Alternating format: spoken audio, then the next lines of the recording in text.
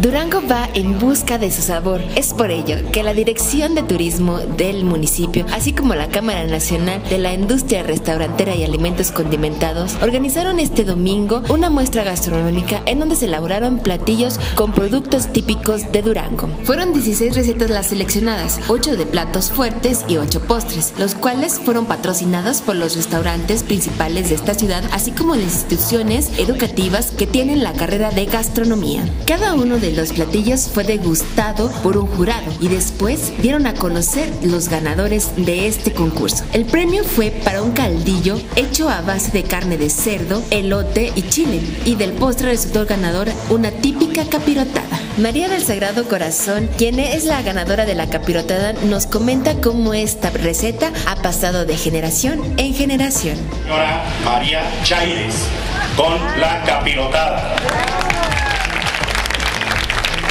Estoy súper sorprendida porque yo incluso le dije al señor presidente municipal, bueno, pues yo nada más participé por el hecho de, de ofrecer la receta. Y pues esto sí fue súper sorpresivo, ¿verdad? De ser la ganadora en el postre.